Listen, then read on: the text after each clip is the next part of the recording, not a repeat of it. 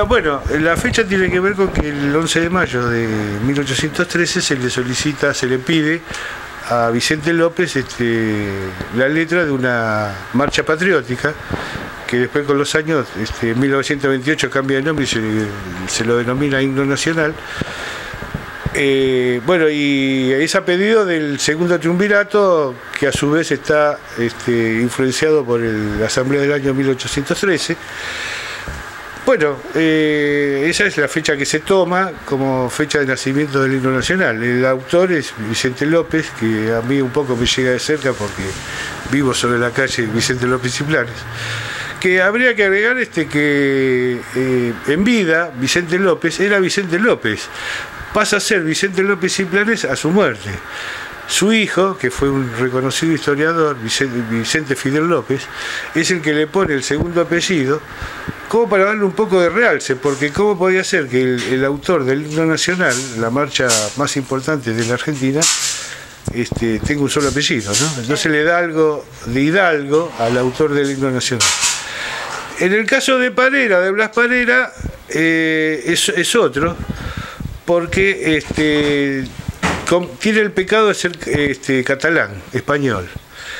Y este, bueno, es un extranjero, es una, eh, es bien propio de lo que es lo que es la Argentina, ¿no? Eh, la marcha patriótica nuestra, nuestro himno nacional, está escrita por un extranjero, o por lo menos la música, ¿no? Eh, además, este, Blas Panera cobra por su, su trabajo de escribirlo y de interpretarlo, cobra 200 pesos. Para la época es un montón de dinero. Sí, claro, es un, bueno, pero el hecho es que cobra a cambio de Vicente López que lo hace gratuitamente porque es, digamos, es lo que se resalta de su figura que es patriótico, ¿no? El hecho de no cobrar porque es un servicio a la patria. Exactamente, ahí está, es un servicio a la patria que el otro lo cobra, Blas Parera lo cobra. Bueno, el caso de Blas Parera es su máximo pecado es ser justamente catalán o español, digamos, este que es contra lo que se luchaba en los godos, claro.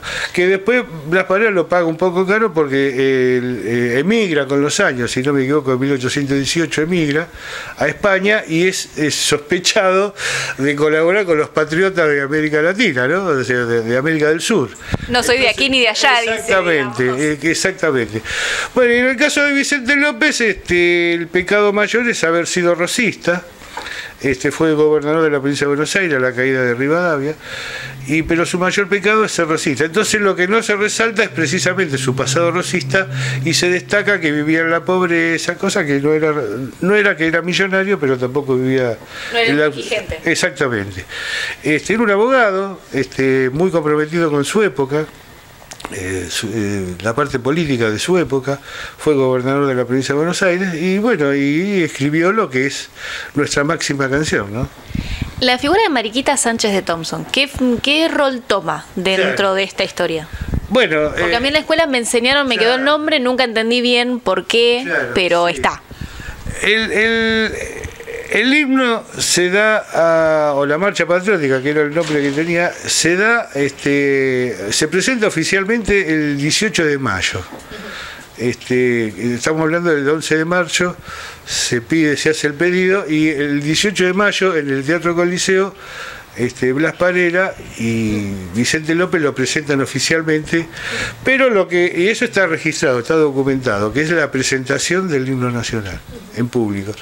Lo que no se sabe qué pasó en el medio. Probablemente haya sido que en, la, en una de las tertulias de Mariquita Sánchez de Thompson haya, este, sido presentado el himno y bueno, eh, se haya dado a conocer. ¿no? ¿Cuál es la importancia de recordar este día? ¿Cuál es la importancia del himno nacional eh, como, como parte de un símbolo? Bueno, la, justamente ese es un símbolo patrio. Eh, es, importante lo del himno nacional porque el libro nacional, yo, por ejemplo, nací en 1953. En el año 1955 se dio un golpe de Estado que es de la Revolución Libertadora. Se usó el himno nacional para voltear un gobierno. En el año 1962 cae eh, el doctor Frondizi, también, también se usó el himno nacional. En el año 63 se voltea o se derroca al doctor Arturo Ilia, también se usó el himno nacional.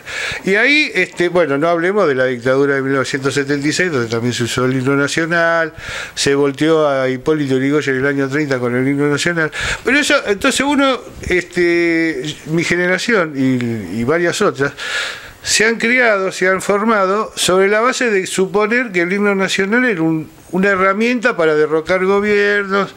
Eh, de chicos participábamos de desfiles militares que eran muy lindos, muy vistosos. Hoy no, la juventud no, le interesa tanto, pero a la gente de nuestra generación este, eso le llamaba la atención porque era estaba inflamado de patriotismo, digamos, ¿no?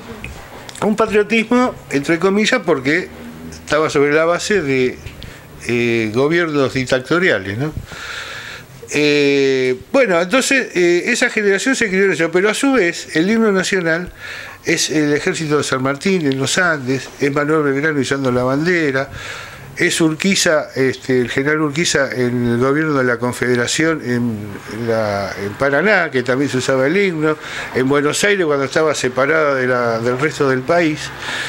Entonces, el himno es muchas cosas y este y así llegamos hasta este se puede decir que el fin de todo eso es Charlie García. En 1994 que aparece con una versión del himno nacional que levantó Polvareda porque este completamente diferente. Claro. Antes, claro, unos años antes, creo que fue en 1990, si no me equivoco, este Maradona peleándose con la hinchada italiana que silbaba al himno nacional argentino cuando se lo estaba cantando en un mundial. Bueno, o sea, el himno nacional hoy en día se canta en las canchas de fútbol multitudinariamente. Aparece en, los sonidos de, de los celulares. Aparece en cualquier lado. Entonces, el himno nacional ha ido cambiando. Esa frase de este, de morir. Eh, juremos con gloria morir. Juremos con gloria morir. Ha ido cambiando y a partir, después de Charlie García, aparece un montón de artistas populares cantando o interpretando al himno de, distintas maneras. Los Sultanes, que es un grupo gay de cumbia, tiene una versión, este, una versión en charango, eh, Mederos graba una versión este, con bandoneón, eh, Soledad, Argentino Luna, dos versiones diferentes de folclórica del himno nacional, y hay una serie, este, el, otro que no me acuerdo los nombres, este, Peter Capusotto. Bueno, o sea, hay toda una variedad artística y cultural que interpreta el himno nacional de distintas maneras, y eso es justamente el himno, que es lo que nos une, que hoy en día eh, esa, esa frase de morir, que se decía que eh, que era lo, que se necesitaba en 1813. En 1813 eh, ese Estado naciente necesitaba hombres para ir a luchar por la libertad, por la independencia. Y lo único que se le podía ofrecer era gloria a su muerte. No había otra cosa para ofrecerle cuando morían. Bueno, todo eso ha cambiado, se ha modificado. Y hoy en día, este, un poco la síntesis de todo eso es este Mercedes Sosa que canta, hay un, un video muy conocido que se, lo ve, se la ve a Mercedes Sosa acompañada de un montón de artistas que cantan y ella al final del susurro dice y con gloria vivir. Esa es la síntesis. Un poco cómo se ha ido modificando a lo largo de dos siglos el, el sentido, la interpretación del himno nacional que no sigue huyendo que lo ha usado todo el mundo y que es nuestro, y que somos eso, los argentinos. Un poco la síntesis también está dada el, bicentenario cuando Fito Páez canta el himno nacional, acompañado multitudinario por miles de personas que lo corean también, ¿no?